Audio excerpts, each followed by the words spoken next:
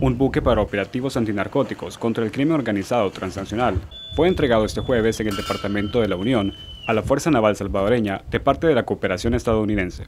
Desde 1951, cuando se fundó la Marina Nacional, este es el primer buque nuevo que causa alta en la Fuerza Naval de El Salvador.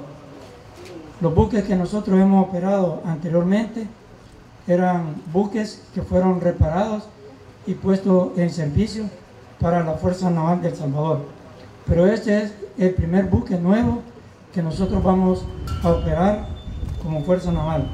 Ya sea con la donación del equipo como este buque patrullero o entrenando a fuerzas especiales como el grupo Storm de la PNC, un grupo especializado en operaciones costeras.